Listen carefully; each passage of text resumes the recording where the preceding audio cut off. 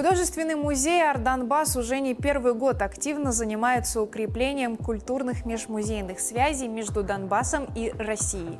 В этот раз директор музея Екатерина Калиниченко и ее заместитель Елена Гусакова отправились с рабочей поездкой в город Ярославль.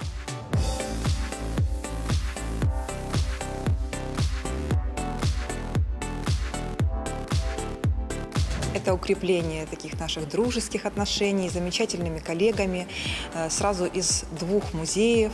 Первый – это Государственный музей-заповедник Карабиха и э, замечательные сотрудники, которые всех себя отдают служению искусству и развитию музейного дела.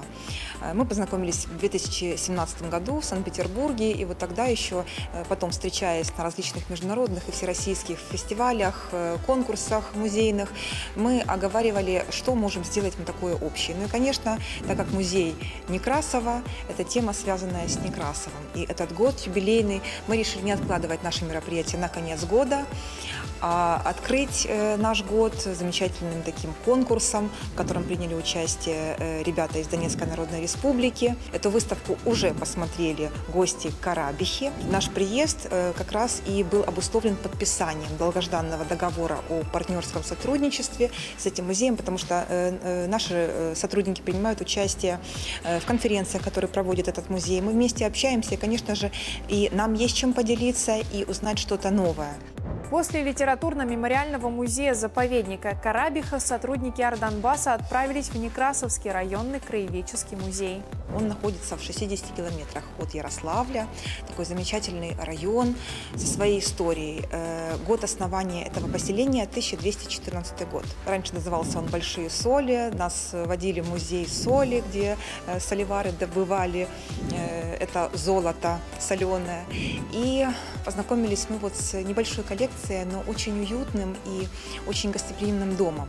Э, там мы открыли вместе с нашими коллегами выставку э, по мотивам произведения Некрасова, подписали договор о сотрудничестве. Ну и надеюсь, что вот юбилей нашего музея, э, который будет в этом году, позволит нам принять наших гостей, чтобы познакомились они с искусством Донбасса. Ярославль – один из старейших русских городов, в котором сохранены памятники зодчества 17-18 веков. Руководитель Жители Ардонбасса посетили множество уникальных мест города.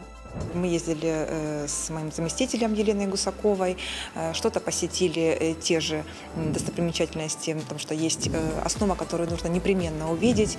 Это архитектурные памятники, храмы 16, 17, 18 столетия. И вот когда ты смотришь росписи, вот старинные иконы, которые действительно являются ценностью всего народа, это очень важно.